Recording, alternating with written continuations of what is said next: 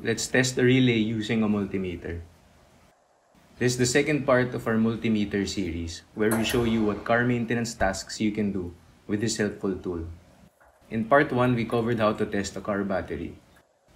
To test your relay, start by locating your fuse box. Most vehicles have one under the hood and sometimes another inside the cabin.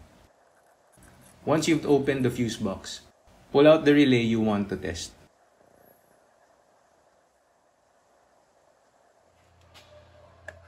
Now grab your multimeter and set it to 200 ohms. On most standard relays, the coil terminals are labeled 85 and 86.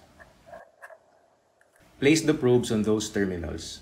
Since we're only measuring resistance, polarity doesn't matter. You should get a reading between 50 to 200 ohms. That means the coil is still good. If you get no reading or a very high resistance, the coil is likely damaged. To simulate the relay activating, apply 12 volts to the coil terminals. You can use a 12 volt battery for this. You should hear a clicking sound. That means the internal switch is engaging.